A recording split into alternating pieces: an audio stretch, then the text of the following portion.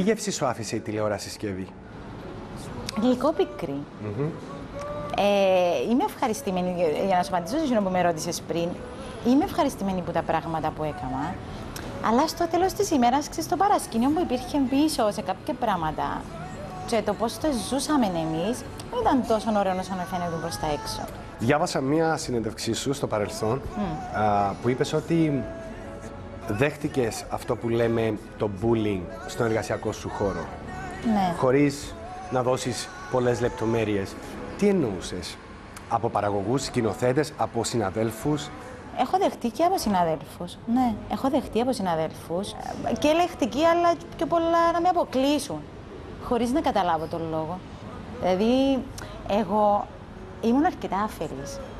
Αρκετά αφελής. Ε, ξέρεις, μπορεί να γίνει γύρω σου ένα πράγμα το οποίο εσύ να μην το αντιληφθείς.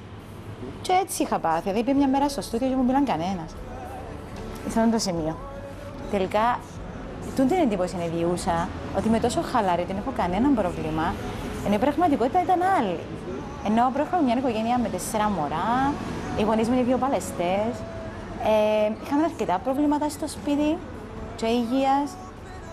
Ε, Α πούμε, της μητέρας μου περάσαμε δύσκολα Αλλά τα έκρυβες. Ναι, αλλά από την επία να μεταφέρω το πρόβλημα μου ούτε στο σχολείο, ούτε στις σπουδές. Δηλαδή, το πρόβλημα μου το ξέραν πολλά κοντινά μου άτομα, και μετά από χρόνια να το μάθα. Ε, και έτσι, μ, πάντα ήθελα να με φαίνεται το, το πρόβλημα, γιατί ε, μου άρεσε και να, ξέρεις, να στεναχωρώ και τους άλλους, να το μεταφέρω. Ίσως και, ξέρεις, ο παπάς μου, επειδή πάντα ήταν ο πιο... Ε, βασικά ο παπάς μου έκανε το πράγμα. Πάντα προσπαθούσαν τα προβλήματα μας να τα κάνουν να φαίνονται ότι δεν ήταν προβλήματα. Και μετέφερε μου το. Και έτσι ήμουν κι εγώ.